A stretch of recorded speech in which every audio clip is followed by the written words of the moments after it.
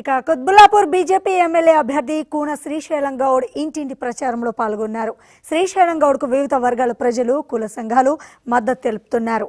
ఇక కుత్బుల్లాపూర్ అభివృద్ధి తనతోనే సాధ్యమని కూన శ్రీశైలం గౌడ్ అన్నారు. బీజేపీ బీసీ వర్గానికి చెందిన నేతను ముఖ్యమంత్రిని చేస్తోందని ఇతర పార్టీలో అలాంటి వాతావరణం లేదన్నారు.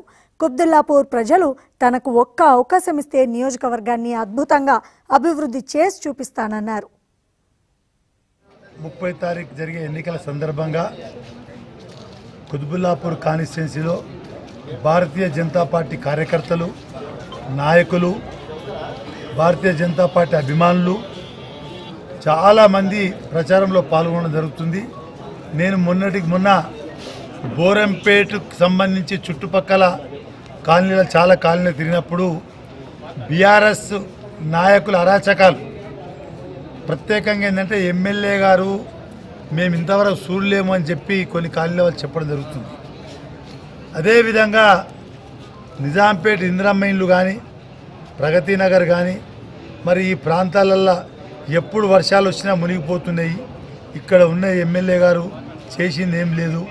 మరి చెప్పుకోవడానికి ఒక గొప్పలు కానీ పనికొచ్చే వరకు ఎక్కడ కూడా చేసింది లేదని చెప్పి మేము బస్తీలు తిరుగుతాం చెప్పడం జరుగుతుంది. కుతుబుల్లాపూర్ కాన్స్టిట్యున్సీలో అన్ని డివిజన్లలో మున్సిపాలిటీ కార్పొరేషన్లో మంచి కార్యక్రమాలు జరుగుతున్నాయి.